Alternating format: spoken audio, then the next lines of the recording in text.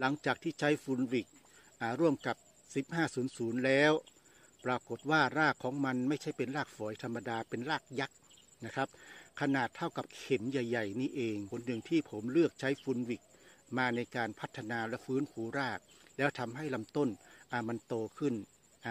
กิ่งก้านขยายเร็วขึ้น เราก็จะมีการตักขึ้นมาลักษณะนี้นะครับท่านผู้ชม แล้วเราก็โปรยไปบริเวณที่ที่เราจะให้น้ำ บริเวณโคนต้นนั้น เราจะไม่ใส่ใส่ลักษณะนี้เพื่ออะไรเพื่อในการล่อรากนั่นเอง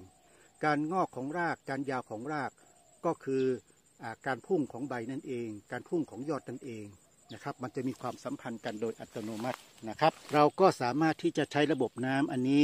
ในการฉีดได้เลยนะครับ ในการฉีดในลักษณะนี้ก็คือให้มันละลายได้ทันทีนะครับ